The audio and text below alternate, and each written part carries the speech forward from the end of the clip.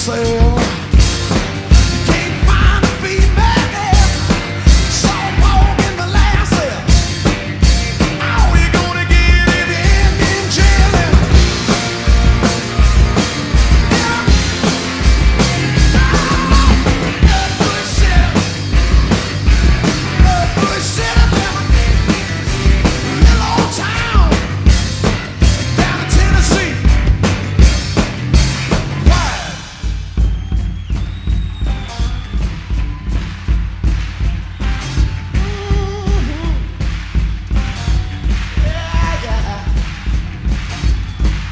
told everybody last night I was reading Rolling Stone where they said Detroit audiences are the greatest rock and roll audiences in the world.